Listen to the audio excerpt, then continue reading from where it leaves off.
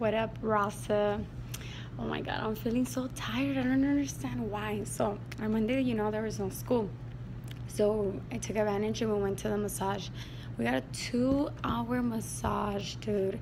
I got home, I knocked out so bomb because I told you guys before, like, I have big time sleeping problems. My back hurts, like, I wake up every little while, and then I can't go back to sleep, or I have some crazy dreams and nightmares and I slept beautiful. Like I woke up and Tuesday, yesterday, I came to work like all amazing, you know.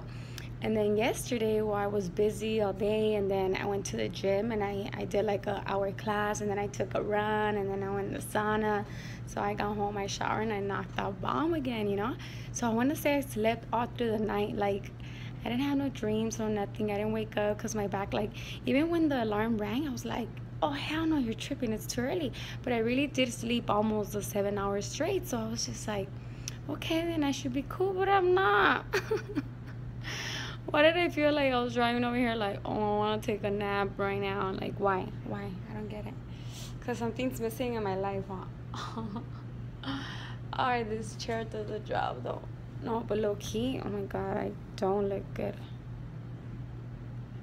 Anyways i feel good because making some progress in my life, getting active again. Okay, I don't know what I'm saying. I love you guys. I just want to, it's hot. My air conditioner doesn't work in my classroom, which is a good thing. Anyways, you guys have a blessed Wednesday and a blessed rest of the week. And smile, be positive, arriba la vida y abajo la vida.